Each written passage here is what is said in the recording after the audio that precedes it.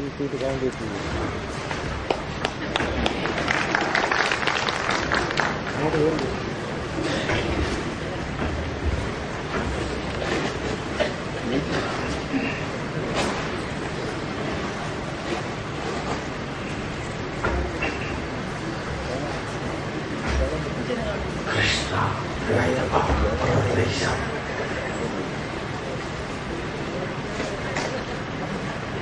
സംപൂജ്യരായ അയ്യലൂർ ചെറുകോൽപ്പുഴ ഹിന്ദു സം- മതസമ്മേളനത്തിന്റെ നൂറ്റി മൂന്നാം സമ്മേളനം സംഘടിപ്പിക്കാൻ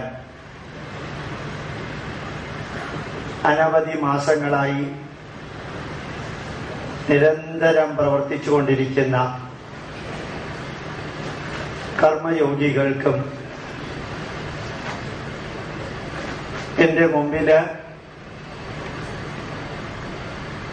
ഈ നാടിന്റെ പൈതൃകം പഠിക്കാനും അറിയാനും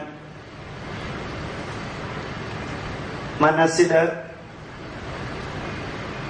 ഇച്ഛാശക്തിയും തലച്ചോറിലെ ജ്ഞാനശക്തിയും ശരീരത്തിലെ ക്രിയാശക്തിയും നിറയ്ക്കാനും മനസ്സിൽ ഇച്ഛാശക്തിയും തലച്ചോറിൽ ജ്ഞാനശക്തിയും ശരീരത്തിലെ ക്രിയാശക്തിയും നിറയ്ക്കാനുമായി വിവിധ പ്രദേശങ്ങളിൽ നിന്ന് ഇവിടെ എത്തിയിരിക്കുന്ന എന്റെ പ്രിയപ്പെട്ട കുടുംബാംഗങ്ങൾക്കും നിറഞ്ഞ ഹൃദയത്തോടുകൂടി പ്രണാമം അർപ്പിക്കുന്നു. ഇന്ന് ഭാരതീയ പൈതൃകത്തിന്റെ അഗാധ തലത്തിലേക്ക് ഒന്ന് ഇറങ്ങിച്ചെന്ന്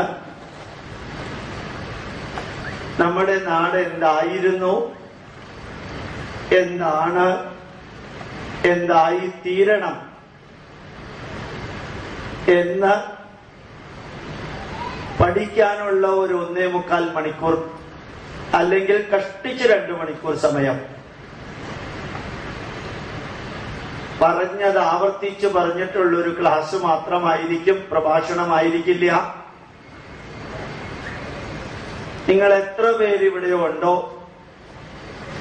ഏത് മതത്തിലോ ഏത് ഇസത്തിലോ ഏത് പ്രായത്തിലോ ഏത് തരത്തിലുള്ള അക്കാഡമിക് ക്വാളിഫിക്കേഷന്റെ ഭാരവും കൊണ്ടോ ഇവിടെ വന്നിരിക്കുന്നവരായാലും ഇന്ന് ഇവിടെ നിന്ന് കേൾക്കുന്നത് സാധിക്കുന്നിടത്തോളം മറ്റുള്ളവരെ അറിയിക്കുക.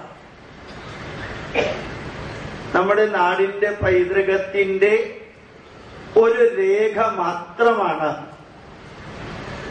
ബാക്കിയെല്ലാം മനസ്സിലാക്കാൻ എളുപ്പത്തിൽ സാധിക്കണമെങ്കിൽ ഇത് ഒന്ന് മനസ്സിലാക്കാൻ ശ്രമിച്ചാൽ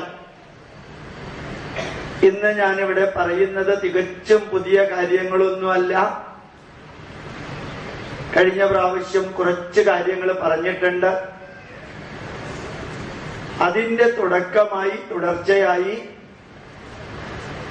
നമ്മുടെ നാട് എന്തായിരുന്നു എന്നറിയിക്കാൻ ധാരാളം വ്യക്തികൾ പറയാറുണ്ട്. ഭാരതത്തിലെല്ലാം ഉണ്ടായിരുന്നു. വേദത്തിലില്ലാത്തതൊന്നുമില്ല. നമ്മുടെ നാട്ടിലില്ലാത്തതൊന്നുമില്ല.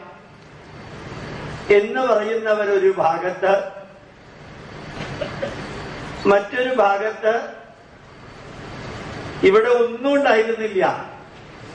ഇവിടെ കുറച്ച് മതവും തത്വശാസ്ത്രവും കുറച്ച് ആത്മീയതയും മാത്രമേ ഉണ്ടായിരുന്നുള്ളൂ. ബാക്കിയുള്ളതെല്ലാം ഇവിടെ ഉണ്ടെന്ന് പറയുന്നത് ആവശ്യമില്ലാതെ അതിശയോക്തി കലർത്തി ഭാരതീയ പൈതൃകത്തോടുള്ള അമിത ബഹുമാനം പ്രകടിപ്പിക്കുന്നവര് ചെയ്യുന്ന തെറ്റായിട്ടുള്ള കാര്യങ്ങളാണ് എന്ന് പറയുന്നവരുണ്ട്.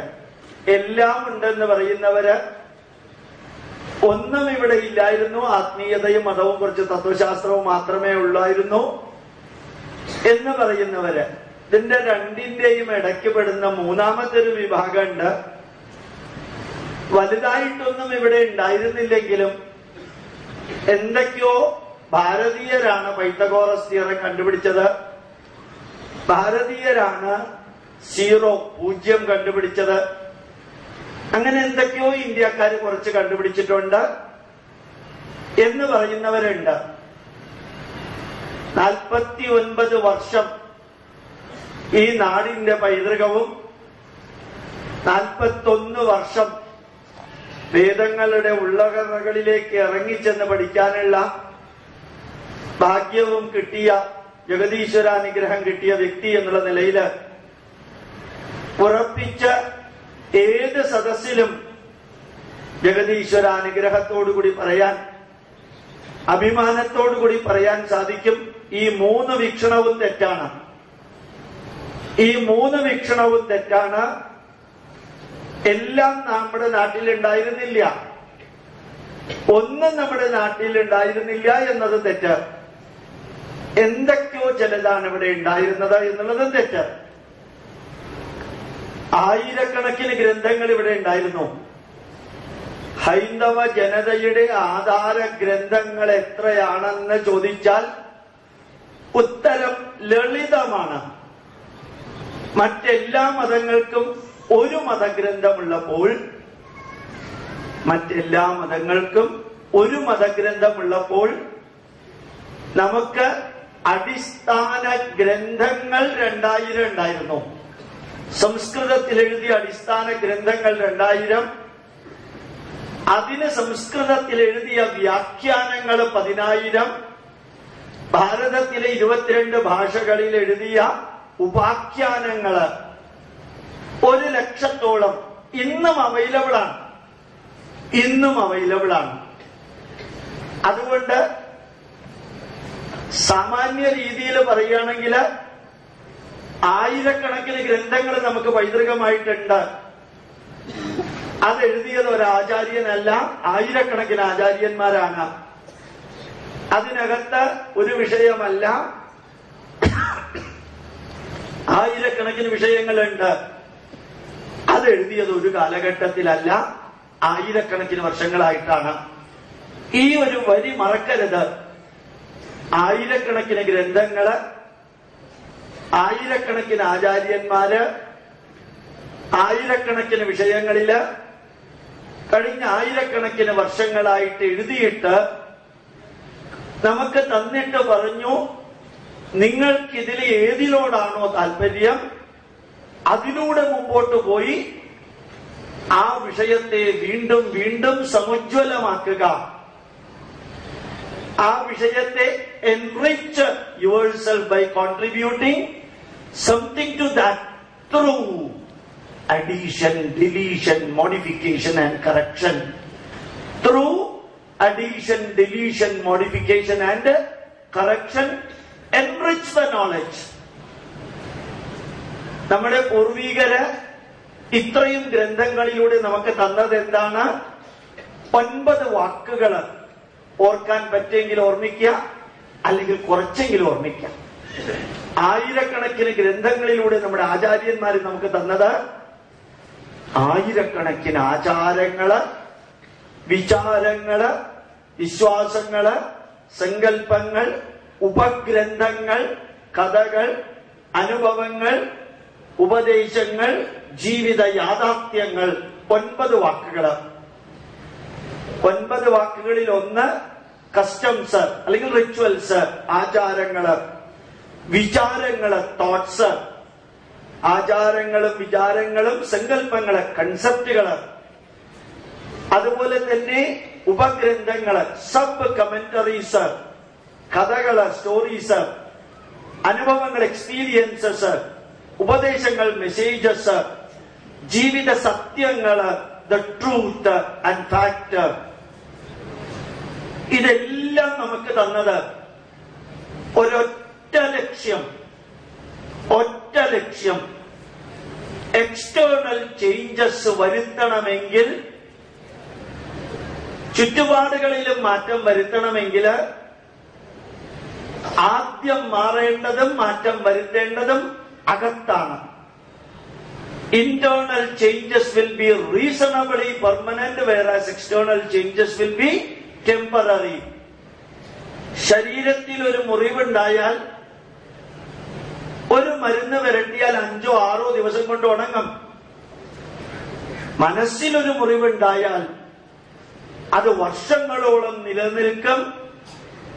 അതിന് മരുന്ന് വരട്ടാൻ സാധിക്കുകയുമില്ല. അതുകൊണ്ട് ഇന്റേണൽ ചേഞ്ചസ് ആർ പെർമനന്റ് എന്ന് പറയുന്നില്ല. Reasonably more permanent than external changes അപ്പൊ നമ്മുടെ ആയിരക്കണക്കിന് ഗ്രന്ഥങ്ങൾ ആയിരക്കണക്കിന് ആചാര്യന്മാർ എഴുതി തന്നതിൽ ആയിരക്കണക്കിന് ആചാരങ്ങളും വിചാരങ്ങളും വിശ്വാസങ്ങളും സങ്കല്പങ്ങളും ഉള്ളത് ഭാരതീയ പൈതൃകവുമായി ബന്ധപ്പെട്ട ഒരു വലിയ പന്തലിടുകയാണെങ്കിൽ ഭാരതീയ പൈതൃകത്തിന്റെ ഒരു പന്തലിടുകയാണെങ്കിൽ ആ പന്തലിലെ അഞ്ച് തൂണുകളെ ഉള്ളൂ എന്ന് വിചാരിക്കുക. ആ പൈതൃകം എന്ന പന്തൽ നിലനിൽക്കുന്ന അഞ്ച് തൂണുകൾ mind thoughts action result reward മനസ്സ് ചിന്തകൾ കർമ്മങ്ങൾ കർമ്മഫലങ്ങൾ കർമ്മത്തിന്റെ പ്രതിഫലങ്ങൾ.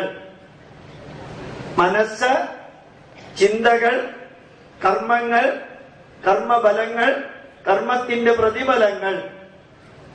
മനസ്സിൽ നിന്ന് ഉദയം ചെയ്യുന്നു ചിന്തകൾ ചിന്തകളുടെ അടിസ്ഥാനത്തിൽ കർമ്മങ്ങൾ ഉദയം ചെയ്യുന്നു. നമ്മൾ കർമ്മം ചെയ്യുമ്പോൾ ചിന്തിച്ചിട്ടാ ചെയ്യാറുള്ളത്. കർമ്മത്തിന്റെ അടിസ്ഥാനത്തിലാണ് കർമ്മഫലങ്ങൾ തരുന്നത് ഉണ്ടാവുന്നത്. കർമ്മഫലത്തിന്റെ അടിസ്ഥാനത്തിൽ കർമ്മത്തിന്റെ പ്രതിഫലം. അപ്പോ കർമ്മത്തിന്റെ ബലവും കർമ്മത്തിന്റെ പ്രതിഫലവും ധന്യമാകാൻ നന്മ നിറഞ്ഞതാകാൻ ഉജ്ജ്വലമാകാൻ മാറ്റം വരേണ്ടത് മനസ്സിലാണ്. അപ്പൊ മനസ്സ് നന്നായാൽ നമ്മളുടെ അമ്മൂമ്മമാര് പറയാറുണ്ട് മനസ്സ് നന്നാവാത്തിടത്തോളം കാലം നീ നന്നാവില്ല. വളരെ സിമ്പിളായിട്ട് അവർ പറയാ. നമ്മൾ ചിലരെ കുറിച്ച് പറയാറുണ്ട് അവന്റെ മനസ്സിൽ നിറച്ചു വിഷം. വേറെ ചിലരെ കുറിച്ച് പറയാറുണ്ട് എന്ത് ചെയ്യുമ്പോഴും അയാളുടെ മനസ്സിനകത്തൊരു ഹിഡൻ അജണ്ടയുണ്ട്. വേറെ ചിലരെ കുറിച്ച് പറയാറുണ്ട് അയാൾ നന്നാവില്ല അയാളുടെ മനസ്സ് അങ്ങനെയാണ് ഈ വാക്കുകളെല്ലാം നമ്മുടെ പൂർവികർ ഉപയോഗിച്ചിരുന്നത് ഉപയോഗിക്കുന്നത് ഇന്നും മനസ്സിനെ സ്പർശിച്ചുകൊണ്ടാണ്. ആ മനസ്സിലാണ്.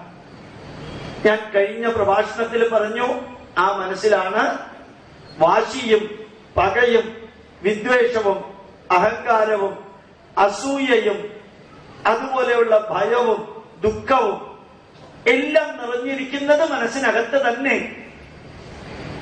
അത്ഭുതകരമായ പ്രതിഭാസം.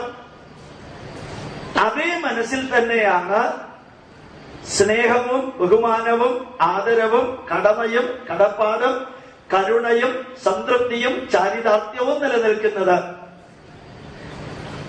അപ്പൊ നമ്മുടെ മനസ്സിൽ നന്മകളും നിലനിൽക്കുന്നു തിന്മകളും നിലനിൽക്കുന്നു.